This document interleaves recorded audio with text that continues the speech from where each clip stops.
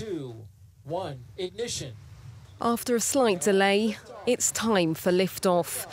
Europa Clipper has begun its 3 billion kilometre voyage to a very mysterious moon which orbits Jupiter and could support life.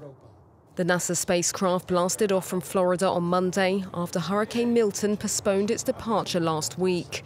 Its mission to get a closer look beneath Europa's icy crust, where scientists are almost certain lies a vast ocean with double the amount of water on Earth.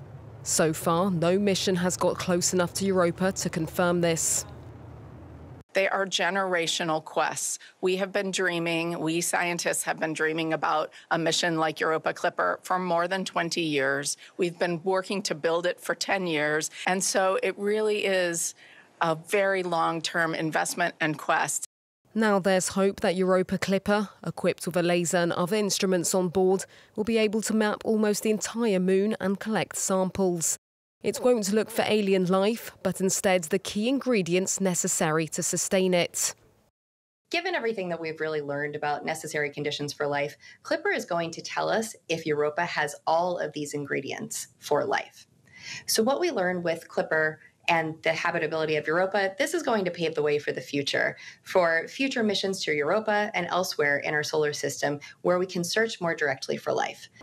Europa Clipper won't arrive until 2030, but what it finds could change what we know about life in our solar system.